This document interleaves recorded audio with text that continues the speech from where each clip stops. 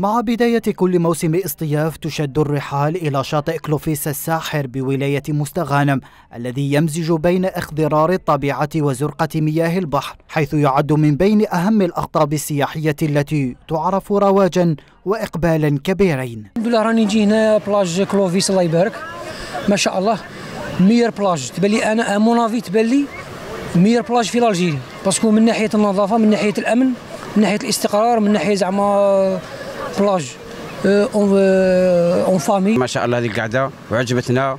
استقبال مليح. والشاطئ ما شاء الله. شاطئ كلوفيس شاطئ ما شاء الله. هو راه كاين متواجد على شواطئ مستغانم 100 كيلومتر أو أو أكثر.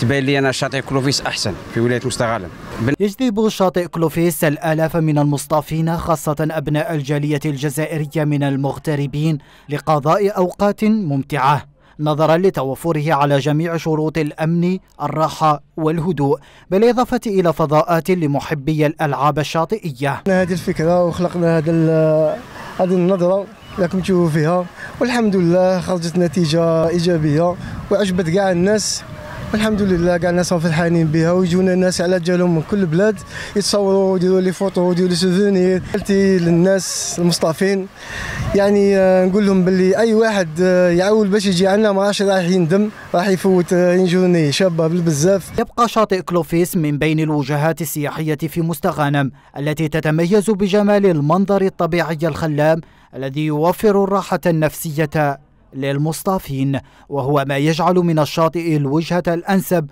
لكل من يطلب الراحة والاستجمام.